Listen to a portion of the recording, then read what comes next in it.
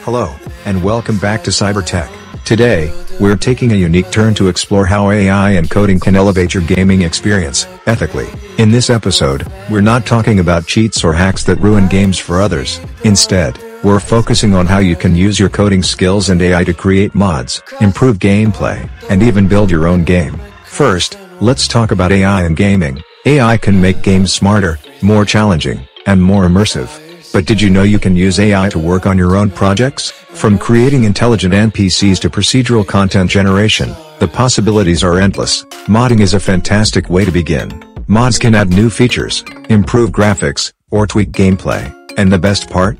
You're learning valuable coding skills along the way. There are plenty of resources to get you started, including Unity, Unreal Engine, and modding communities for your favorite games. Feeling ambitious? Why not start developing your own game?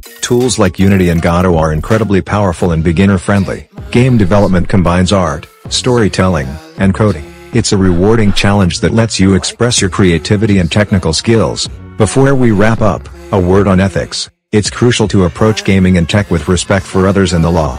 Using AI and coding for cheating undermines the hard work of developers and the enjoyment of other players. Let's innovate and create in ways that uplift the community. That's all for today's episode. If you're interested in more tutorials, tips, and tech talk, don't forget to subscribe to Cybertech. Thanks for watching.